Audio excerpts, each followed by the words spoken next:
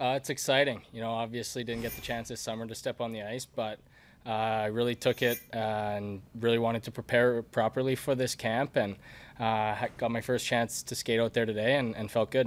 When did you get into town?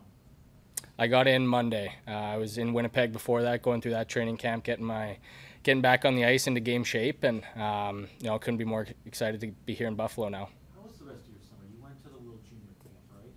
I didn't know. You did, you, Still rehabbing the shoulder. Yeah. Uh, didn't end up going to the World Junior Camp. Uh, I really wanted to spend more time in the gym, spend more time back on the ice at home. Uh, you know, just working on my skills, making sure my shoulder was 100%, and uh, you know, just really didn't want to take any risks with, risks with it.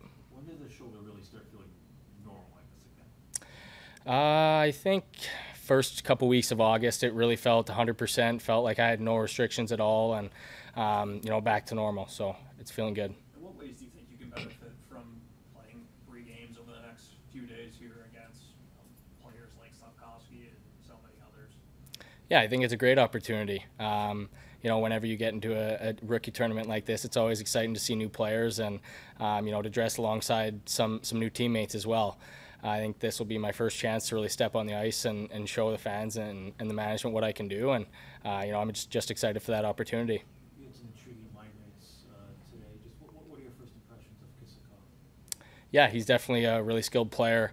Um, you know, haven't really really played against him before, met him before, so uh, getting this first skate uh, out of the way and building some chemistry with them, it was really good. What's kind of the wow factor watching him? Uh, just how skilled he is. He sees the ice. He, he can skate.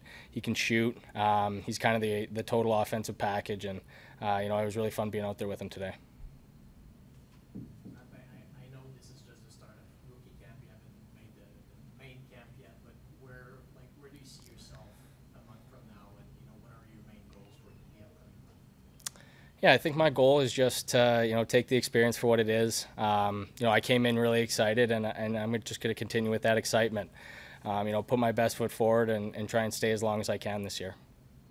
The, be, between, you know, maybe causing a surprise at camp and uh, going to the World Juniors, where, you know, what, what would be the, the thing that would please you the most for, for the, the next few months?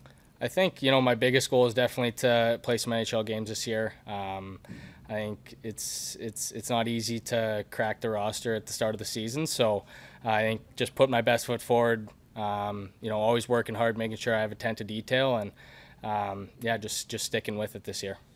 Is that in the back of your head that, you know, the Sabres roster, it's kind of set, but I mean, they have that option for the nine games with you. Is that in the back of your head that, or even the front of your head that, you know, you, you can maybe force, force things, you can make them make a difficult decision?